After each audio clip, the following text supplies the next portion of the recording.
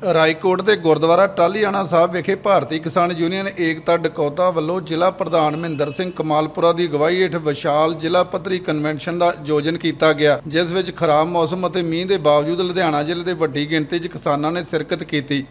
Convention ਦੌਰਾਨ ਆਗੂਆਂ ਨੇ ਕਿਸਾਨੀ, ਕਿਸਾਨ ਧਰਤੀ, ਹਵਾ, ਪਾਣੀ ਬਚਾਉਣ ਦਾ ਦਿੱਤਾ ਹੋਕਾ।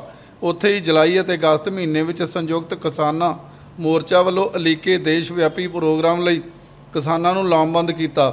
ਜਿਸ ਦੌਰਾਨ 31 ਜੁਲਾਈ ਨੂੰ ਸ਼ਹੀਦ ਊਧਮ ਸਿੰਘ ਦੇ ਸ਼ਹੀਦੀ ਦਿਹਾੜੇ ਮੌਕੇ ਭਾਰਤ ਬੰਦ ਤਹਿਤ ਪੰਜਾਬ 'ਚ ਰੇਲ ਰੋਕੋ ਅਤੇ 18 ਅਗਸਤ ਤੋਂ ਲਖੀਮਪੁਰ ਖੀਰੀ ਵਿਖੇ ਲੱਗਣ ਵਾਲੇ 75 ਘੰਟਿਆਂ ਦੇ ਧਰਨੇ ਬਾਰੇ ਦੱਸਿਆ।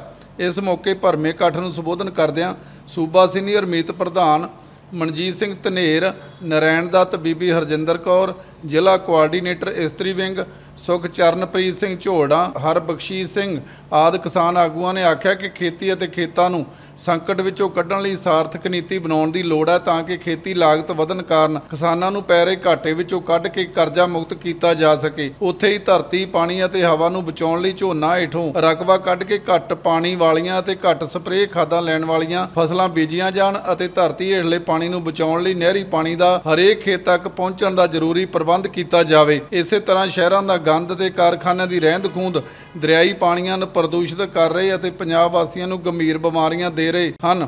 ਸਰਕਾਰ ਦਾਅਵਿਆਂ ਨੂੰ ਸਾਫ਼ ਸੁਥਰਾ ਰੱਖਣ ਲਈ ਕੁਝ ਨਹੀਂ ਕਰ ਰਹੀ। ਅੱਜ ਸਟੇਜ ਤੋਂ ਕਿਸਾਨਾਂ ਨੂੰ ਪਾਣੀ ਬਚਾਉਣ ਅਤੇ ਵਾਤਾਵਰਣ ਬਚਾਉਣ ਲਈ ਵੱਧ ਤੋਂ ਵੱਧ ਦਰਖਤ ਲਗਾਉਣ ਦਾ ਵੀ ਸੱਦਾ ਦਿੱਤਾ ਗਿਆ। ਇਸ ਮੌਕੇ ਆਗੂਆਂ ਨੇ ਜਗਨ ਸੰਘਰਾਓ ਦੀ ਕਿਤਾਬ ਮਗ ਬੋਲਾਂ ਨੂੰ ਵੀ ਰਿਲੀਜ਼ ਕੀਤੀ ਗਈ। ਅੱਜ ਦੀ ਆਵਾਜ਼ ਲਈ ਰਾਏਕੋਟ ਤੋਂ ਗੁਰਸੇਵਕ ਮਿੱਠੇ ਦੀ ਰਿਪੋਰਟ।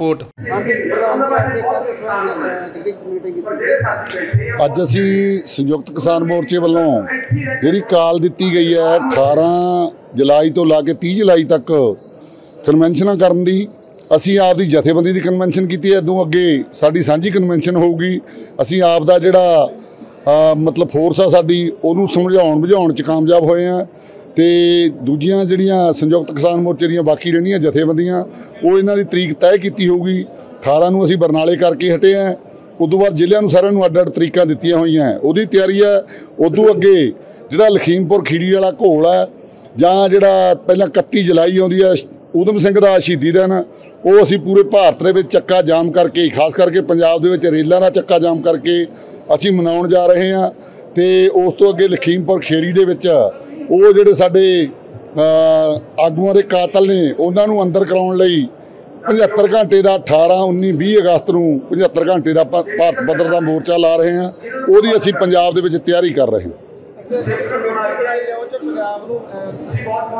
ਹਾਂ, ਉਹ ਉਹ ਜਿਹੜਾ ਸੱਚ ਆ ਉਹ ਸਾਹਮਣੇ ਆ ਗਿਆ। ਸਾਨੂੰ ਪਹਿਲਾਂ ਵੀ ਜਿਹੜੀ ਸ਼ੱਕ ਸੀ ਉਹ ਤੋਮਰ ਜਿਵੇਂ ਪਹਿਲਾਂ ਝੂਠ ਬੋਲਦਾ ਸੀ ਹੁਣ ਵੀ ਉਹ ਝੂਠ ਬੋਲਿਆ ਵੀ ਮੈਂ ਤਾਂ ਅਸੀਂ ਤਾਂ ਵਾਅਦਾ ਹੀ ਨਹੀਂ ਸੀ ਕੀਤਾ ਐਦੋਂ ਵੱਡਾ ਝੂਠ ਕੋਈ ਹੋ ਨਹੀਂ ਸਕਦਾ। ਉਹ ਜਿਹੜੀ ਨੂੰ ਪਵਿੱਤਰ ਕੁਰਸੀ ਕਹਿੰਦੇ ਹੁੰਦੇ ਉਹ ਕੁਰਸੀਆਂ ਤੇ ਬਹਿ ਕੇ ਝੂਠ ਬੋਲਦੇ ਆ ਇਹ। ਉਹ ਜਿਹੜੀ ਐਮਐਸਪੀ ਲਈ ਅ, ਕਮੇਟੀ ਬਣਾਈ ਸੀ ਉਹ ਐਮਐਸਪੀ ਦੇ ਵਿੱਚ ਪੰਜਾਬ ਜਾਂ ਹਰਿਆਣੇ ਨੂੰ ਥਾਂ ਨਹੀਂ ਦਿੱਤਾ ਗਿਆ ਕੋਈ। ਜਿਹੜੇ ਲਏ ਵੀ ਨੇ ਜਿਹੜੇ ਪਹਿਲਾਂ ਕਾਲੇ ਕਾਨੂੰਨਾਂ ਦੇ ਹਾਮੀ ਸੀ, ਜਿਨ੍ਹਾਂ ਨੇ ਕਾਲੇ ਕਾਨੂੰਨਾਂ ਦਾ ਡਰਾਫਟ ਬਣਾਏ ਸੀ, ਉਹੀ ਜ਼ਿਆਦਾ ਲੋਕ ਉਹਦੇ ਵਿੱਚ ਭਰਤੀ ਕੀਤੇ ਗਏ ਆ। ਉਹਦੇ ਵਿੱਚ ਐਮਐਸਪੀ ਵਾਸਤੇ ਕੋਈ ਥਾਂ ਨਹੀਂ ਸੰਯੁਕਤ ਮੋਰਚੇ ਨੇ ਉਹਦਾ ਬਾਈਕਾਟ ਕਰਤਾ, ਉਹਦੇ ਵਿੱਚ ਕੋਈ ਵੀ ਅਸੀਂ ਬੰਦਾ ਨਹੀਂ ਦੇਵਾਂਗੇ। ਪੰਜਾਬ ਦੀਆਂ ਵੱਡੀਆਂ ਤੇ ਤਾਜ਼ਾ ਖਬਰਾਂ ਦੇਖਣ ਦੇ ਲਈ ਸਾਡੇ ਫੇਸਬੁੱਕ ਪੇਜ ਅੱਜ ਦੀ ਆਵਾਜ਼ ਨੂੰ ਫੋਲੋ ਕਰੋ ਅਤੇ ਆਪਣੇ ਦੋਸਤਾਂ ਦੇ ਨਾਲ ਸਾਂਝਾ ਕਰੋ। ਇਸ ਦੇ ਨਾਲ ਹੀ YouTube ਦੇ ਉੱਤੇ ਸਾਡੇ ਚੈਨਲ ਅੱਜ ਦੀ ਆਵਾਜ਼ ਨੂੰ ਸਬਸਕ੍ਰਾਈਬ ਕਰੋ। ਲੇਟੈਸਟ ਬ੍ਰੇਕਿੰਗ ਖਬਰਾਂ ਦੇ ਲਈ ਸਾਡੇ ਨਾਲ ਜੁੜੋ। ਇੰਸਟਾਗ੍ਰam ਦੇ ਉੱਤੇ ਖਬਰਾਂ ਦੀ ਜਾਣਕਾਰੀ ਦੇ ਲਈ ਸਾਨੂੰ ਫੋਲੋ ਕਰੋ। ਦੇਸ਼ ਵਿਦੇਸ਼ ਦੀਆਂ ਵੱਡੀਆਂ ਖਬਰਾਂ ਹੁਣ ਸਿਰਫ ਅੱਜ ਦੀ ਆਵਾਜ਼ ਦੇ ਉੱਤੇ। ਅੱਜ ਦੀ ਆਵਾਜ਼ ਦੇ ਅਖਬਾਰ ਦਾ ਈ-ਪੇਪਰ ਐਡੀਸ਼ਨ ਪੜ੍ਹਨ ਦੇ ਲਈ ਸਾਡੀ ਵੈਬਸਾਈਟ ਦੇ ਉੱਤੇ ਵਿਜ਼ਿਟ ਕਰੋ। ਪੰਜਾਬ ਦਾ ਭਰੋਸੇਮੰਦ ਅਖਬਾਰ, ਰੋਜ਼ਾਨਾ ਅੱਜ ਦੀ ਆਵਾਜ਼।